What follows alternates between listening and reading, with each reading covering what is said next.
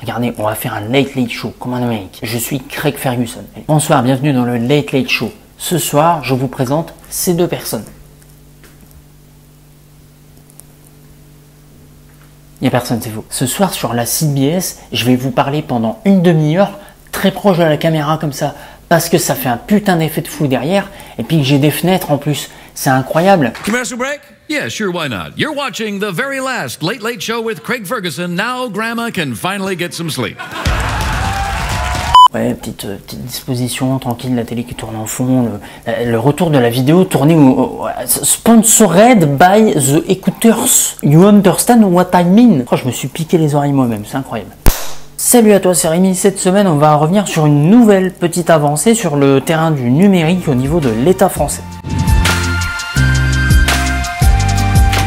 Vendu comme ça, c'est pas ouf. Mais avant toute chose, abonne-toi à la chaîne quand même et active la cloche de notification juste à côté. Parce que c'est une vidéo tous les samedis à 18h. En tout cas, euh, en globalité, c'est tous les samedis à 18h. Et puis, il y a les réseaux sociaux de la chaîne que tu vois juste là et qui sont en dessous également dans les descriptions. Facebook, Instagram et Twitter. Officiel sur tous.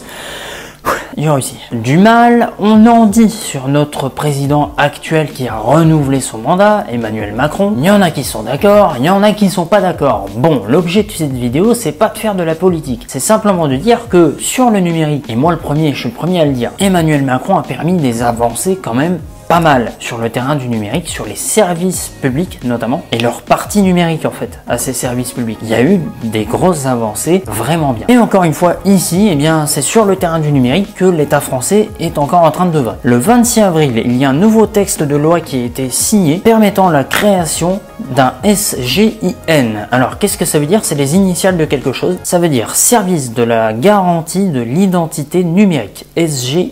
Le but ici, c'est encore une fois de venir simplifier certains rouages de l'administration numérique française. Et là, on s'attaque en fait avec ce service-là à un souci de connexion à ces services-là. On a tous des identifiants et des mots de passe pour se connecter aux impôts, pour se connecter à la poste, pour se connecter à l'assurance maladie. Actuellement, il y a déjà France Connect qui aide déjà un petit peu sur ça. L'exemple concret que moi je vis le plus souvent, je veux me connecter au site des impôts sur mon espace personnel du site des impôts. Je connais pas de tête mon numéro fiscal et pourtant il te le faut pour te connecter. Et bien pour me connecter, j'utilise les identifiants de mon compte Amélie de l'assurance maladie et ça marche. J'ai accès aux mêmes informations que si je me connectais en fait avec mon numéro fiscal. Ça c'est France Connect. Tu utilises les identifiants d'un autre service public numérique pour te connecter à un de ces services publics numériques. Et donc là, ce SGIN s'attaquera du coup à ces services publics, mais également à certains services privés associés de près ou de loin à l'État français pour pouvoir développer une application permettant de faciliter encore les choses au niveau de la connexion au compte sur ces sites. Il est donc question ici d'une application qui permettra de récupérer les données de votre carte d'identité biométrique. Vous savez, c'est ces cartes d'identité là qui sont maintenant distribuées si en fait vous faites une nouvelle demande de carte d'identité, c'est celle-ci au format carte de crédit. Les anciennes c'était ceux-là, pour ceux qui les ont peut-être pas connus, si vous avez habité dans une grotte ces 20 dernières années. Euh, Et ce qu'il y a, c'est que sur ces nouvelles cartes d'identité qu'on appelle biométriques,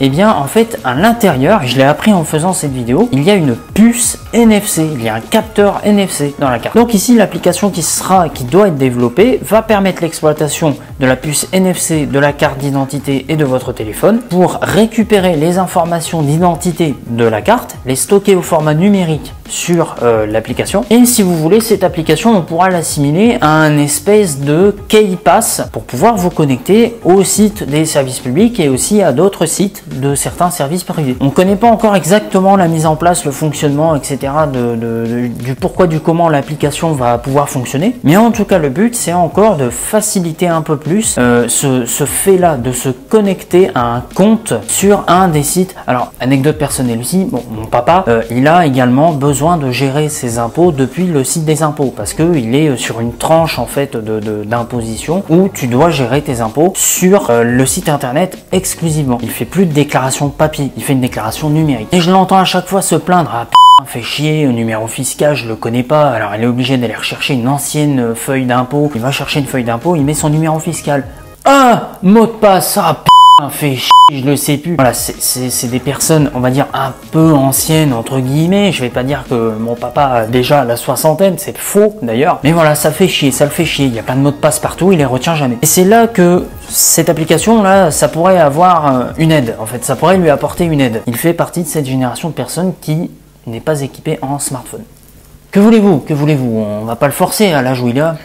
Et voilà, c'est ça, la clé du fonctionnement de cette application, c'est que ça va permettre de faciliter encore un peu plus l'accès aux comptes sur ces services-là. Alors, il y a déjà une première tentative en France métropolitaine avec le service Alicem en 2019. C'était un projet euh, pareil pour créer une application, alors apparemment qui était que disponible sur Android en plus de ça, qui permettait de euh, stocker, sauvegarder certaines informations de connexion et d'identification et d'identité du par la même occasion. Et ça demandait également de euh, vous faire une vidéo de vous en fait en mouvement et face devant la caméra pour utiliser la reconnaissance faciale. Et c'est là où ça a merdé parce que ça fait euh, soulever des questions de vie privée un petit peu dans tous les sens et au final le projet LICEM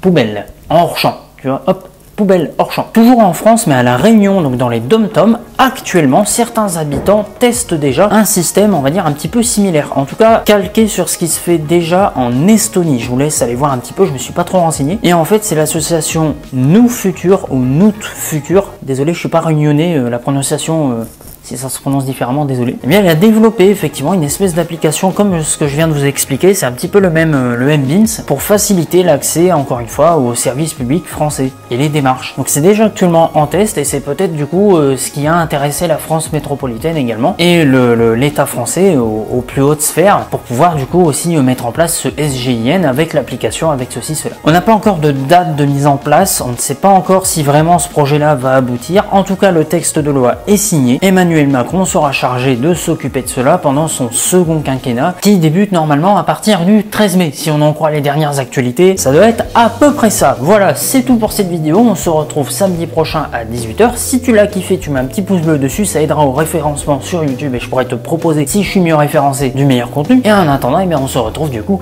la semaine prochaine, à samedi prochain, 18h, c'était Rémi. Salut, ciao ciao